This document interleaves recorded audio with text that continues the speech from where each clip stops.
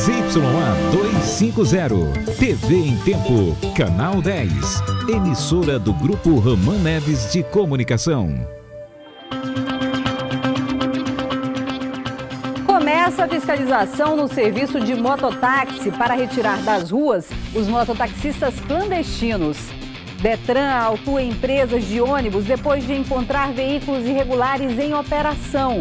Extintores do tipo ABC para carros deixam de ser obrigatórios. Vigilância Sanitária fecha batedouro de aves clandestino na zona norte de Manaus. Indústria acumula prejuízos com demora na liberação de mercadorias pelos auditores fiscais da Receita. E ainda contribuintes têm até amanhã para negociar dívidas com a Prefeitura e conseguir descontos. O Jornal em Tempo desta quinta-feira já está no ar.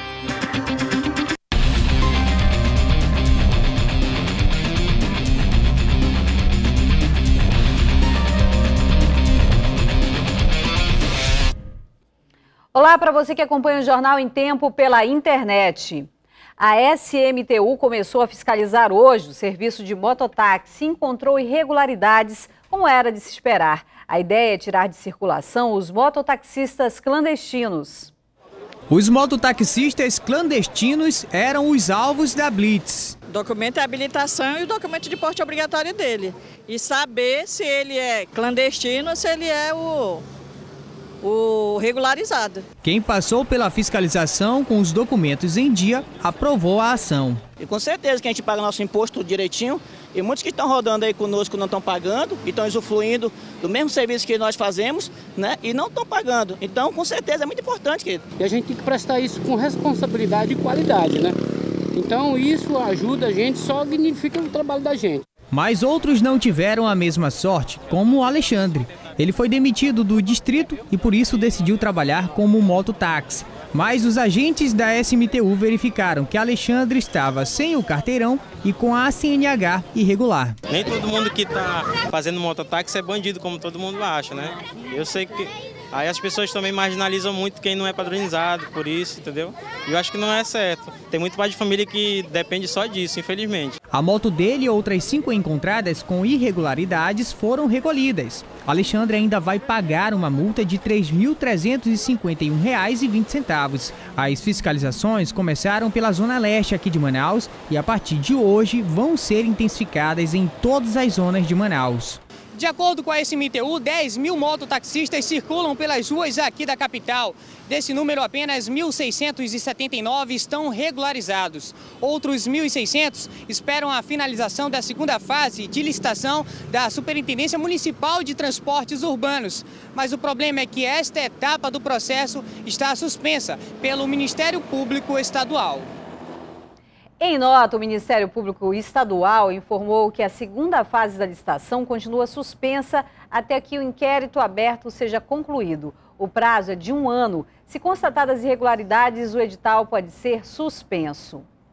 E não só a licitação dos mototaxistas tem dado problema, não. Um grupo de permissionários dos transportes executivo e alternativo fez um protesto hoje contra a lista de aprovados para circular na capital.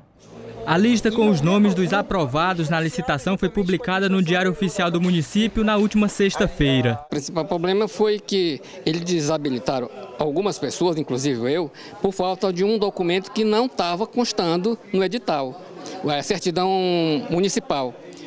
Então, eles fizeram um, um esclarecimento só no, no, no, Diário Oficial. Mas esse esclarecimento não está no edital. O grupo protesta contra possíveis irregularidades no edital e já fala em paralisar o serviço na capital caso não haja negociação com a Superintendência de Transportes Urbanos. Nós pretendemos parar na segunda ou terça-feira, quando sair o resultado deles, e parar o Tribunal de Justiça, as, as ruas da cidade de Manaus, que isso é inadmissível que estão fazendo com a nossa categoria. Ao todo, 260 micro-ônibus do transporte executivo circulam no centro e na Zona Norte. Outros 260 alternativos trafegam na Zona Leste. O edital contemplou 203 permissionários que ainda estão na fase de entrega da documentação. A licitação estava suspensa desde abril pelo Tribunal de Contas do Estado para alguns ajustes.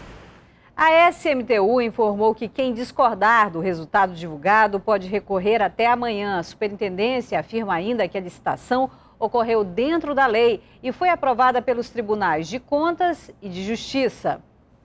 E olha, uma boa notícia para quem estava preocupado em comprar aquele extintor do tipo ABC para o carro. Eles deixaram de ser obrigatórios para veículos de passeio. Vamos conversar ao vivo com a repórter Marquilze Pereira. É isso mesmo, Marquilze. Boa noite.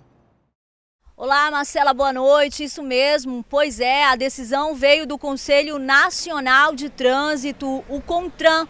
O uso dos extintores aí nos carros deixa de ser obrigatório, passa a ser opcional, mas olha, nos carros de passeio. E essa mudança ela vem duas semanas antes do fim do prazo que os motoristas teriam para se adequar, que seria 1 de outubro.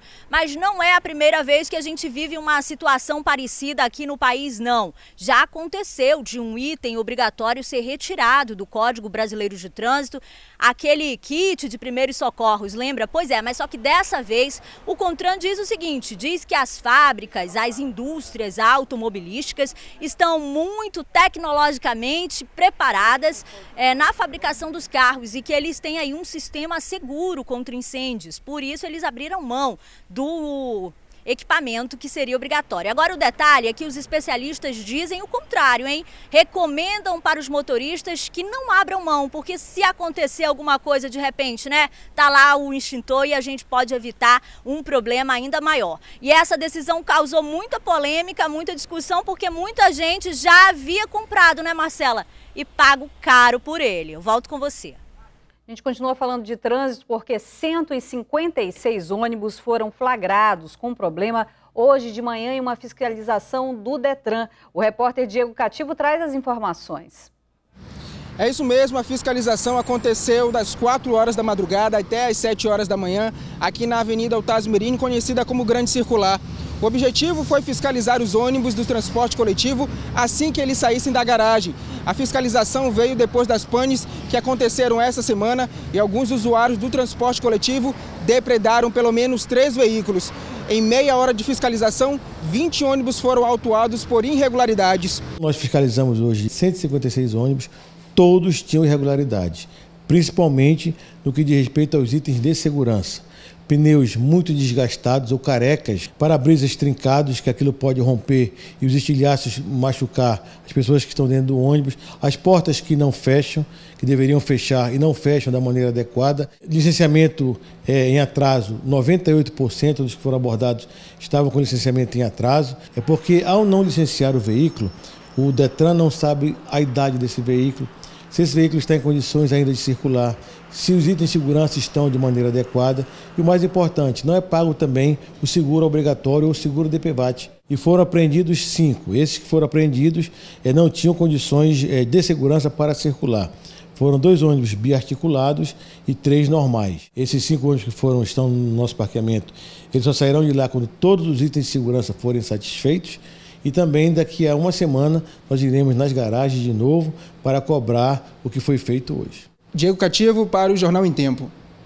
Depois do intervalo, você vai ver Manaus fica coberta por fumaça devido a focos de queimadas. E ainda, a greve dos Correios ganha força na capital e entrega de correspondências é prejudicada. Já já.